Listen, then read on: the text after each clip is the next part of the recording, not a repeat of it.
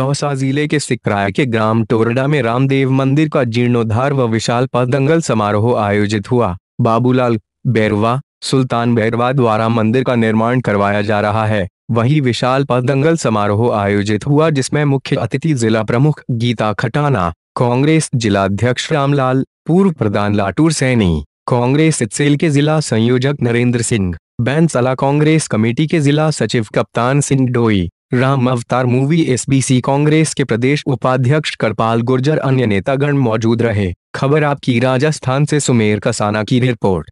मैं काम बताता हूँ सबसे पहले है एक रुपये किलो गेहूँ मिलते हैं। अच्छा। एक रुपये किलो गेहूँ मिलते हैं और एक दूसरा फ़ायदा और कर दियो।